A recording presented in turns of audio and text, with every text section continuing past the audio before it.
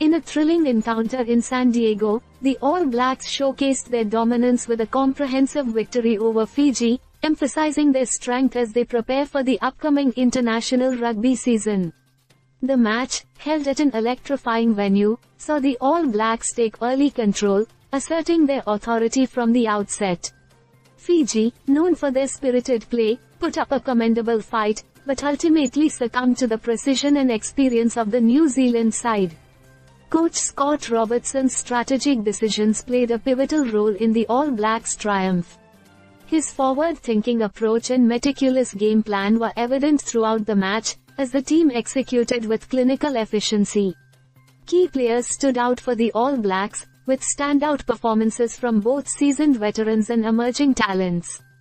The synergy between the experienced leaders and the youthful vigor injected into the team promises an exciting season ahead for New Zealand rugby enthusiasts.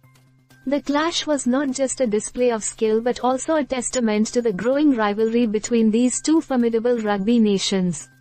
Fiji, known for their flair and unpredictability, kept the All Blacks on their toes, creating moments of tension and excitement that thrill spectators. As the match progressed, the All Blacks' depth and adaptability came to the forefront. Their ability to capitalize on opportunities and swiftly adjust tactics highlighted why they are perennial contenders in international rugby.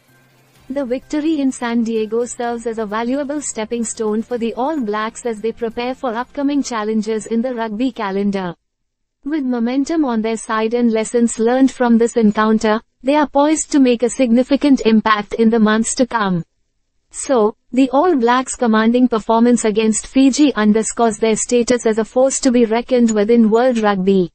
Fans can look forward to more exhilarating displays of skill and determination as the team continues to strive for excellence on the global stage.